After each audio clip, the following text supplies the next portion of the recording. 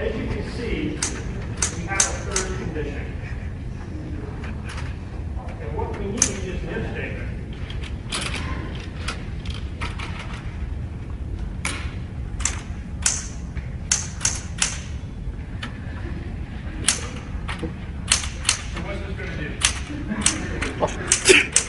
What is that?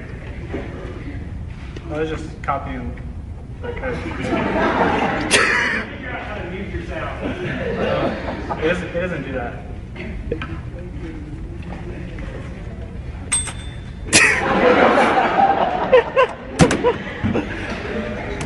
I'll just download the attachments.